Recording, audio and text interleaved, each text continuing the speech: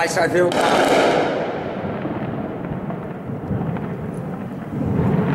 محاولة اجتياح لعناصر الأمن والشبيحة إلى حي الخالدين.